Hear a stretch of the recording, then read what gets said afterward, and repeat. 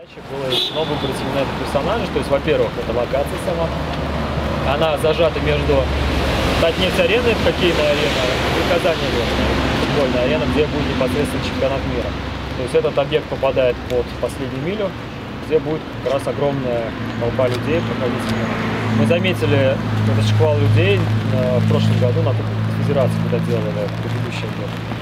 Поэтому это он э, не самый, может быть, популярный футболист, да, которого вспомнить сразу. То есть первый это, конечно же, Яшин, но он это не менее титулованный, и тем более он на капитанском мостике держался очень э, долгое время. Он заслуженный спортсмен как в футболе, так и в хоккее. Поэтому таким вот методом э, отбора пришли к этому персонажу.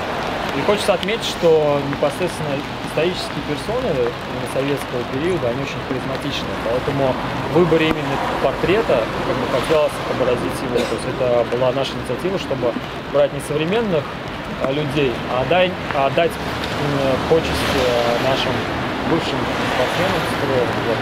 Они очень такие спокойные сами по себе, ну, и портреты в них соответствуют. То есть можно сказать по одному портрету изображению, что это был за человек. Знаем, э, всегда подходя к какой-то задаче, всегда узнаешь о человеке больше. То есть э, у него была, было прозвище Гусь из-за его своеобразного голоса и удивительной клише. То есть, при этом он э, был очень сказать, авторитетным в своей команде. По-моему, он и в «Спартаке» футбольном, и в «Спартаке» хоккейном играл.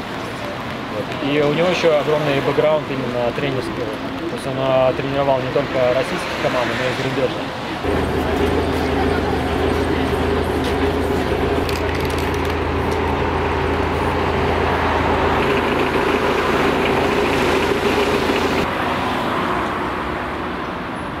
Aku perlu belok na